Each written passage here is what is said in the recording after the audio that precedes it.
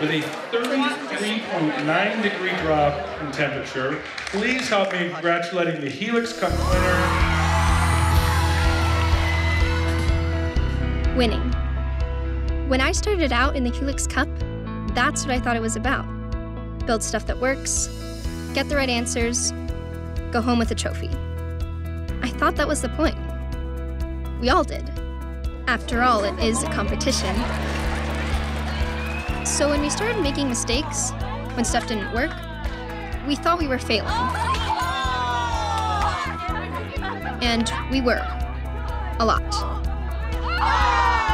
But we were wrong about what that meant, about what we were here to do.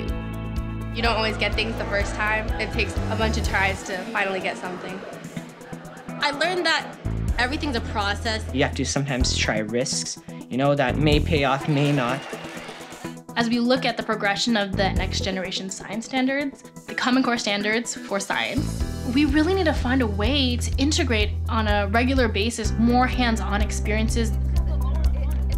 Scientists get it wrong almost all the time, but they keep going. And that was what we learned. Knowledge is good, but passion and determination can change the world. The spark in their eyes is amazing. That's better than any lecture that I could ever give.